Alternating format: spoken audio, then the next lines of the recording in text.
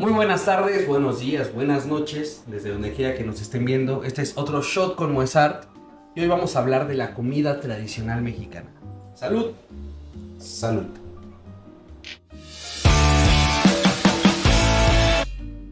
A comer pancita con los agachados que vengo muy crudo. La tiene suave, muy bien calientita, con su callito sabroso y gordito.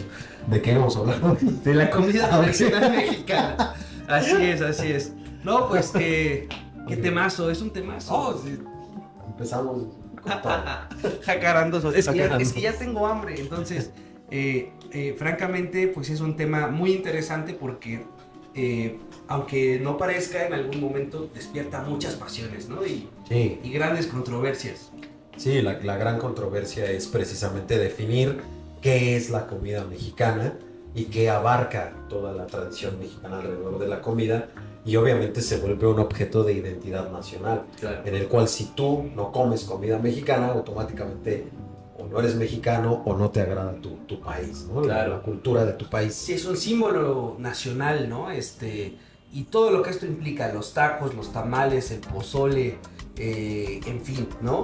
Eh, cada quien tendrá sus favoritos, pero sí, sin duda, si un, un extranjero llega y habla mal de la comida mexicana, uff, perdón, pero se arma un, un revuelo grande. Y estaría bueno preguntarse por qué sucede esto, ¿no? Y, y aparte el mexicano es celoso de su comida porque cuando va a otro país y hacen comida mexicana a los extranjeros, Uy, sí. automáticamente es, esto no es un taco, estas no son enchiladas, esto no es mole, ¿no? O sea, sí, sí.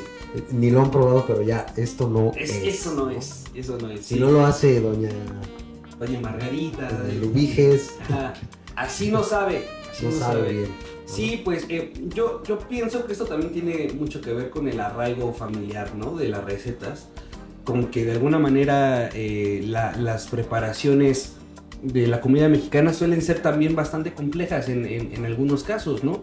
Eh, no cualquiera prepara un mole, no cualquiera se avienta a hacer un pipián, este, o incluso una salsa roja, ¿no?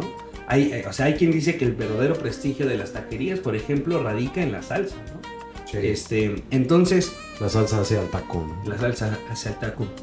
Efectivamente. Entonces, eh, además, hay una infinidad de, de forma de, de- de preparaciones, de elementos, también de, este, de ingredientes, ¿no? Eh, de, formas de, cocción, puede ser tatemado, puede ser al horno bajo tierra, eh, en fin, ¿no? Entonces, afortunadamente vivimos en un país en el que tenemos esta amplia diversidad, no solamente de, de elementos naturales, sino también de elementos técnicos, ¿no? Y utensilios, ¿no? Porque Claro. no es lo mismo cocinar en la olla de barro a en la, bor- a la- en la olla de acero inoxidable. O sea, hasta eso le da el sabor distinto al, al guiso, a la comida. Y el, y el, o sea, por excelencia, la gran diferencia que es la licuadora azteca, que es el molcajete, El ¿no? molcajete. Eh, o sea, no sé si alguna vez han comido ustedes alguna una salsa molcajeteada, así con su jitomatito tatemado y su chilito y su choconostle y de repente ahí, no hombre, eso es una delicia con tortillas hechas a mano.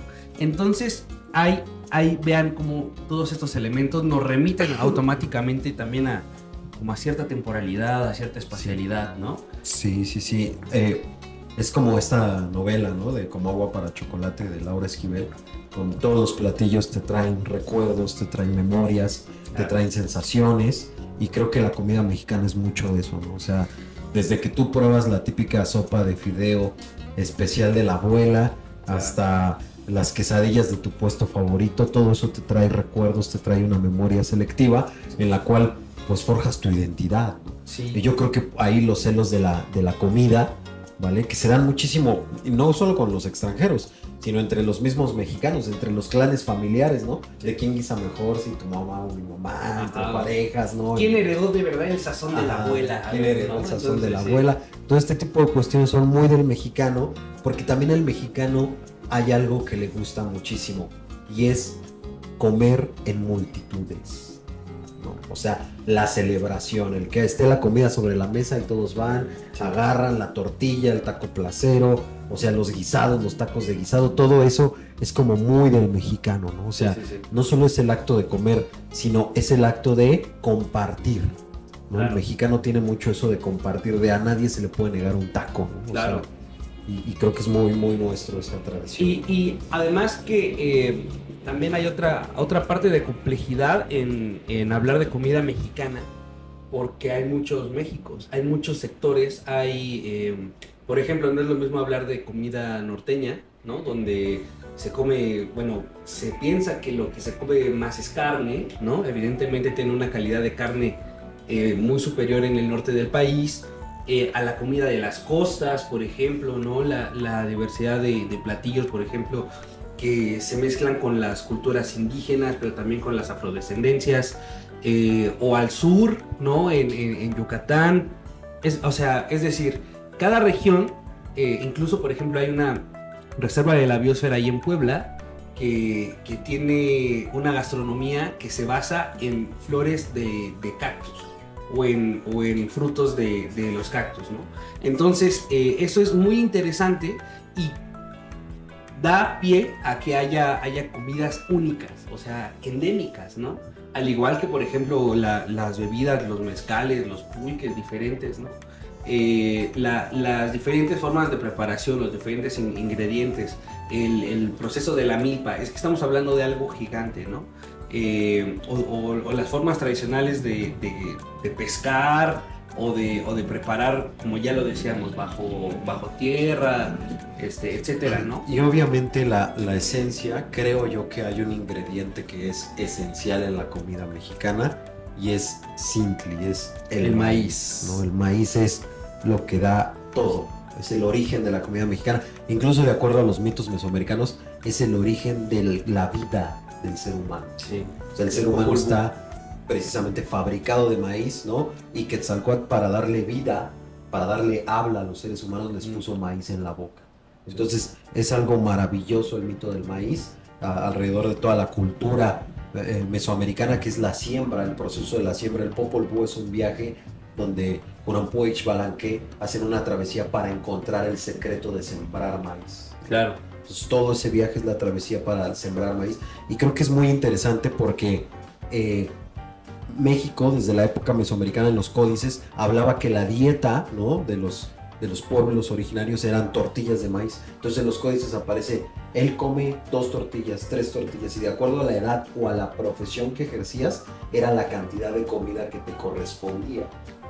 Entonces, si tú eras militar, por ejemplo, y tenías arriba de 25 años, te correspondían cinco tortillas y un guisado. Y, así iba adecuándose, porque también administraban bien los recursos que había para las sequías y todo este tipo de cuestiones.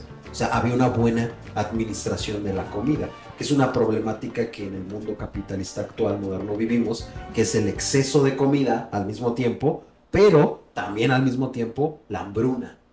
O sea, vivimos una paradoja, un sistema contradictorio donde al año se tiran desechos diarios, se tiran desechos de toneladas de comida que no se comen por las grandes cadenas, pero también tenemos gente que está muriendo de hambre. Entonces no hay una administración real de los bienes este, alimenticios claro. en los diferentes estratos. Sí, pues la, distribución de la comida, de hecho, mm, hay, hay como también bastantes mitos alrededor, por ejemplo, ¿no? De cómo se comía en Mesoamérica que dicen que, por ejemplo, que si el pozole es el origen, eh, o sea, es un plato que se cocinaba con seres humanos, eh, que si todos lo hacían o que si solo los sacerdotes, en fin, ¿no? Eso da, da, da pie a como a muchísimos mitos que, que de pronto eh, no tienen ni, ni pies ni, ni cabeza. también pensando que, por ejemplo, me, México Tenochtitlan tenía un abastecimiento de comida tan interesante, porque aquí llegaban productos de todo el país, bueno, de, todo, de toda la, región de lo que era aquel, aquel reino este, en, el que, en el que los mexicas ejercían poder. Del, es que llegaba afluencia de los totonacas, eh, llegaba afluencia del, norte, del Bajío, de asentamientos del Bajío y del Pacífico. Entonces, y del sur todavía los mayas también porque todavía había mayas. ¿eh? No, y de, y de, las diferentes regiones cercanas al valle de, de la Náhuac. O sea, quiere decir, lo que llegaba de Iztapalapa, lo que llegaba de, de este de Xochimilco, imagínense las, las, los cultivos, ¿no? Y, y, lo- y los, y los peces, o sea, también imagínense el, el tamaño de los animales de La- aquel la- la- las anécdotas de que Moctezuma pedía su pescado fresco, ¿no? Claro. que se lo traían desde Veracruz y venían corredores, ¿no? Que se turnaban en bases y para traerle a las 7 de la mañana fresquito el pescado para que el señor Talatuani desayunara sabrosón, Se echara su jaiba. su jaiba bien a gusto, Su mojarrita. su mojarrita.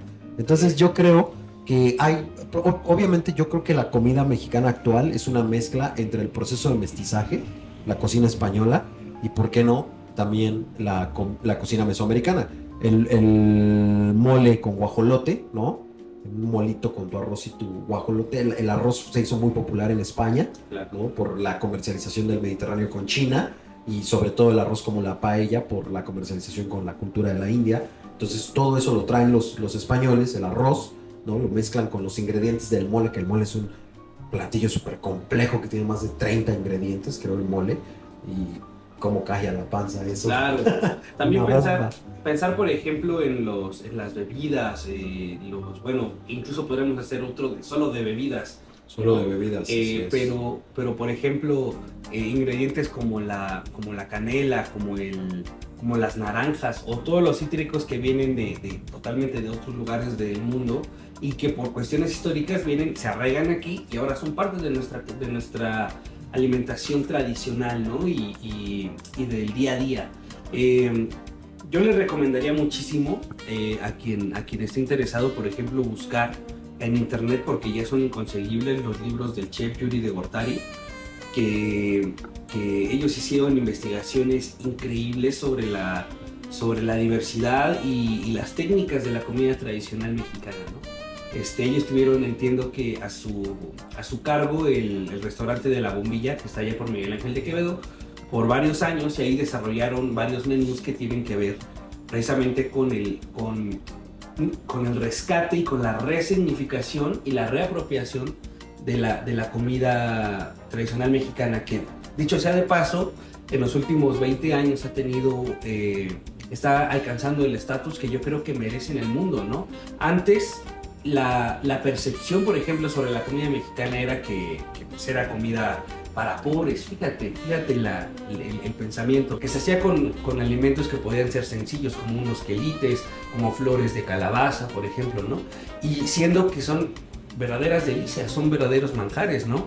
Eh, entonces, mientras más vamos explorando y más vamos recapitulando sobre, sobre esta aproximación a los ingredientes y los procesos, etcétera, yo creo que mejor entenderemos y cada que nos echemos ahí un, un, un molito, un arrocito o lo que sea, Fíjate, ya está, se, se me hizo agua la boca. Este, eh, creo que, que podremos eh, también apreciar más y obviamente degustar con una profundidad mucho más amplia, ¿no? De la que ahora tenemos. Y creo, o sea, ya para concluir, porque este tema se puede prestar a hablar y hablar y hablar, pero para concluir creo que, que la gente que nos, que nos cuente cuál es su platillo, ¿no?